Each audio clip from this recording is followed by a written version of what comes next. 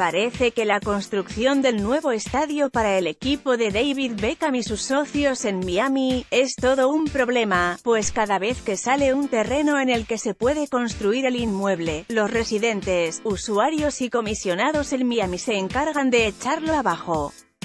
tal cual y como sucedió en Overtown. Pese a que ahí el inglés pudo comprar algunos terrenos, los vecinos terminaron por no aceptar dejar sus hogares para darle paso a una construcción de nuevas casas, un escenario deportivo de primer mundo y una mejora sustancial a la zona.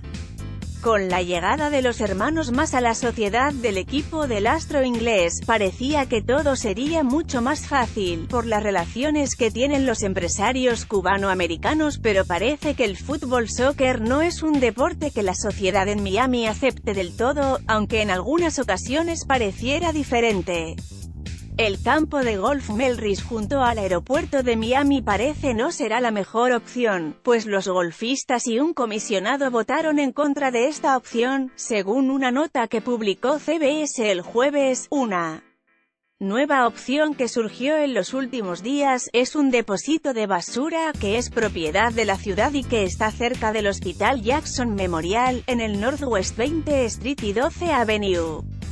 pero habrá que esperar a que se estúe el terreno, las vías de acceso, el metrorail, que podría ser otro problema.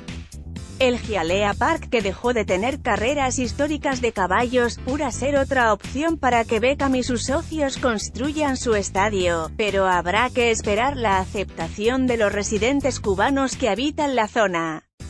Otro complejo que está fuera de Miami, es el antiguo depósito de la Pepsi, un extenso terreno junto al Palmetto Expressway, que se ubica en el Doral, una zona que podría ser más adecuada para la edificación de un estadio de fútbol, pues en la zona habitan venezolanos, colombianos y mexicanos quienes son más aficionados al fútbol que los cubanos.